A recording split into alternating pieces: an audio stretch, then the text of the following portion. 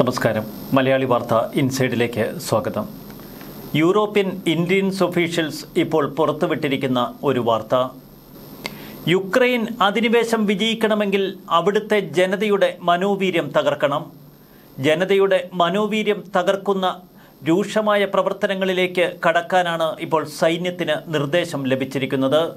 മോസ്കോയിൽ നിന്നുള്ള രഹസ്യ നിർദ്ദേശങ്ങൾ ചോർത്തിയെടുത്ത യൂറോപ്യൻ യൂണിയൻ ഇന്റലിജൻസ് വിഭാഗം ഇപ്പോൾ നൽകുന്ന മുന്നറിയിപ്പ് അതിഭയാനകമാണ്. ഒരിക്കൽ താലിബാൻ പരീക്ഷിച്ച അതേ യുദ്ധതന്ത്രം നഗരങ്ങൾ പിടിച്ചെടുക്കുമ്പോൾ ബന്ദികളാക്കുന്ന ജനങ്ങളെ പരസ്യമായി വധിക്കുക അതും മറ്റുള്ളവർ കാണെ പൊതു ഇടങ്ങളിൽ വെച്ചുള്ള ഈ ക്രൂര കൊലപാതകങ്ങൾ കൊണ്ട് ജനങ്ങളെ ഭയപ്പെടുത്താൻ കഴിയുമെന്ന് റഷ്യ കണക്കുകൂട്ടുന്നു. സാധാരണ ജനങ്ങളെ പിടികൂടി അവർക്കുമേൽ യുദ്ധ കുറ്റകൃത്യം ചുമത്തി അവരെ പരസ്യമായി വധിക്കുകയാണ് ഇപ്പോൾ റഷ്യയുടെ ലക്ഷ്യം. ഇതിനായി പ്രത്യേക കില്ലർ സേനയെ യുക്രൈനിലെത്തിച്ചുവെന്നാണ് വാർത്തകൾ വരുന്നത്. അങ്ങനെയെങ്കിൽ കൂടുതൽ ഭയാനകമായ ദിവസങ്ങളിലേക്കാവും ഇനി കടക്കുക. ഇന്നലെ ഫ്രഞ്ച് പ്രസിഡന്റ് ഇമ്മാനുവൽ മക്രോൺ പറഞ്ഞതും ഇതുതന്നെയാണ്. അതിഭയാനകമായ ദിവസങ്ങൾ വരാനിരിക്കുന്നതേയുള്ളൂ. യുക്രൈൻ ജനതയുടെ മനോവീര്യം അതുതന്നെയാണ് പുടിനെയും റഷ്യൻ സേനയെയും തകർത്തത്. ഇക്കഴിഞ്ഞ എട്ട് ദിവസങ്ങളായി യുക്രൈൻ സേനയുടെ നേർക്ക് റഷ്യൻ സേന അതിശക്തമായ ആക്രമണമാണ് നടത്തുന്നത്. എന്നിട്ടും കീവ് എന്ന തലസ്ഥാനം പോലും പിടിച്ചെടുക്കാൻ റഷ്യയ്ക്ക് കഴിയുന്നില്ല. കീവ് നഗരത്തിന് മുപ്പത് കിലോമീറ്റർ പുറത്ത് ഇപ്പോഴും റഷ്യൻ സേന കിതയ്ക്കുകയാണ്. ഭക്ഷണവും ഇന്ധനവുമൊക്കെ തീർന്ന് ജനങ്ങളുടെ പ്രതിരോധം തന്നെയാണ് റഷ്യൻ സേന ഇതുപോലെ കിതയ്ക്കാനുള്ള മുഖ്യ കാരണം. യുക്രൈൻ ജനതയിലുള്ള ആ രാജ്യസ്നേഹം അത് റഷ്യ ഇത്ര കണ്ട് പ്രതീക്ഷിച്ചതേയില്ല. യുക്രൈൻ പ്രസിഡന്റ് സെലൻസ്കിയുടെ വാക്കുകൾക്ക് വലിയ ഹർഷാരവമാണ് യുക്രൈൻ ജനത നൽകുന്നത്.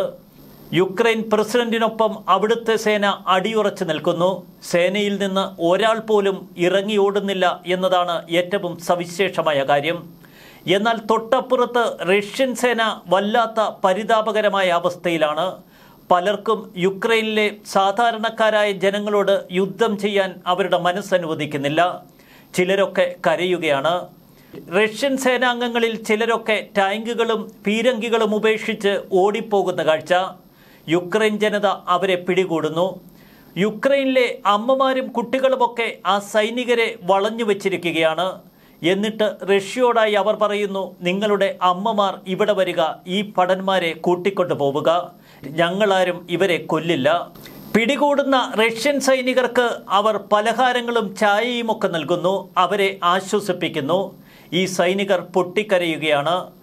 സൈനിക ഉന്നത ഉദ്യോഗസ്ഥർ എന്തിനാണ് തങ്ങളെ യുക്രൈനിലേക്ക് അയച്ചത് എന്ന് പോലും ഞങ്ങൾക്കറിയില്ലായിരുന്നു. ചിലരൊക്കെ കൗമാരം വിട്ട സൈനികർ പത്തൊൻപത് വയസ്സുള്ള സൈനികരൊക്കെ പൊട്ടിക്കരയുന്ന ദൃശ്യങ്ങളാണ് യുക്രൈൻ പുറത്തുവിടുന്നത്. എന്നാൽ നേരെ മറിച്ച് റഷ്യ കൊടും ഭീകരതയുടെ അടയാളമായി മാറുന്നു. യുക്രൈൻ സേന സാധാരണ ജനങ്ങളെ മനുഷ്യകവചമാക്കുന്നുവെന്നാണ് പ്രസിഡന്റ് പുടിൻ ഇപ്പോഴും ആവർത്തിച്ചു കൊണ്ടിരിക്കുന്നത് എന്നാൽ സാധാരണ ജനങ്ങളെ കൊന്നൊടുക്കുന്ന നിരവധി ദൃശ്യങ്ങളാണ് ഇപ്പോൾ യുക്രൈനിൽ നിന്ന് പുറത്തേക്ക് വരുന്നത്.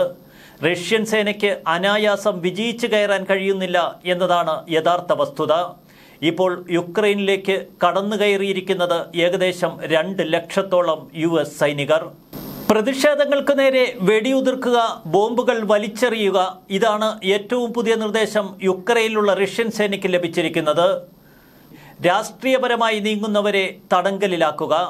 ഏതെങ്കിലും തരത്തിൽ ഭടന്മാരെ ആക്രമിക്കാനൊരുങ്ങുന്ന സാധാരണ ജനങ്ങളെ പൂർണമായി പിടികൂടുക.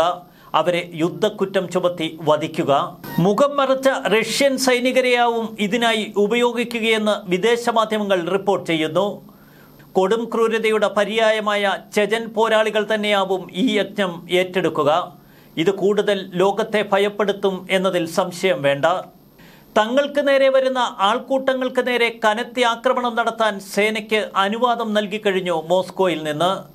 നേരത്തെ പരമാവധി സിവിലിയന്മാർക്ക് നേരെ ആക്രമണങ്ങൾ ഉണ്ടാവരുത് എന്ന് തുടക്കത്തിൽ സേനയിലെ മുതിർന്ന ഉദ്യോഗസ്ഥർ നിർദ്ദേശിച്ചിരുന്നു. എന്നാൽ റഷ്യൻ സേനയിലെ ജനറൽ കൊല്ലപ്പെട്ടതോടെ അവരുടെ മനോഭാവം പൂർണമായി മാറിയിരിക്കുന്നു.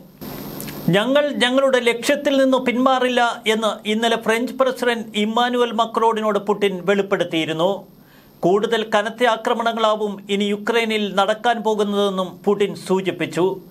ഇത്തരം സംഭാഷണങ്ങളുടെ പശ്ചാത്തലത്തിലാണ് പിന്നീട് ഫ്രഞ്ച് പ്രസിഡന്റ് പറഞ്ഞത് നമുക്ക് മുന്നിലുള്ളത് അതിഭയാനക ദിവസങ്ങളാണ്. ഒരു ജനതയുടെ മേൽ ഏകാധിപതിയായ പുട്ടിന്റെ അച്ചകൾ അഗ്നിഗോളങ്ങളായാണ് ഇപ്പോൾ പതിക്കുന്നത്. ഇനി എത്രയോ നിരപരാധികൾ അവിടെ കുരുതി ചെയ്യപ്പെടും. ലോകത്തിലെ സ്വേച്ഛാധിപതികളെക്കുറിച്ചൊക്കെ ഇപ്പോൾ എല്ലാവരും ചർച്ച ചെയ്യുകയാണ്. സ്വന്തം ജനങ്ങളെപ്പോലും കശാപ്പ് ചെയ്യാൻ മടിയില്ലാത്ത എത്രയോ സ്വേച്ഛാധിപതികളാണ് ഈ ലോകത്ത് വാണിരുന്നത്. ഇന്ത്യക്കാർ ഉൾപ്പെടെയുള്ള വിദേശികളെ രാജ്യത്തു നിന്ന് രക്ഷപ്പെടാൻ യുക്രൈൻ അനുവദിക്കുന്നില്ല എന്ന് വിളിച്ചു പറഞ്ഞത് പുടിൻ തന്നെയാണ്. ഇന്ത്യക്കാരെ യുക്രൈനികൾ മനുഷ്യകവചങ്ങളാക്കുന്നുവെന്നാണ് പുടിൻ പറഞ്ഞത്. നേരത്തെ ഒരു ഇന്ത്യൻ വിദ്യാർത്ഥി റഷ്യയുടെ ആക്രമണത്തിൽ മരണമടഞ്ഞതിന്റെ തൊട്ടു പിന്നാലെയാണ് ഇത്തരം പ്രതികരണങ്ങളുമായി പുടിൻ രംഗത്തെത്തിയത്. എന്നാൽ യുക്രൈൻ ഇന്ത്യക്കാരെ ബന്ദികളാക്കിയെന്ന പുടിന്റെ ആരോപണം പൂർണമായി ഇന്ത്യ തള്ളിക്കളഞ്ഞിരുന്നു. ഖാർക്കീവിലെ റെയിൽവേ സ്റ്റേഷനിൽ ഇന്ത്യൻ വിദ്യാർത്ഥികൾ ഉൾപ്പെടെയുള്ളവരെ ബന്ദിയാക്കിയിരിക്കുകയാണെന്നാണ് പുടിൻ പിന്നീട് വിശദമായി പറഞ്ഞത്.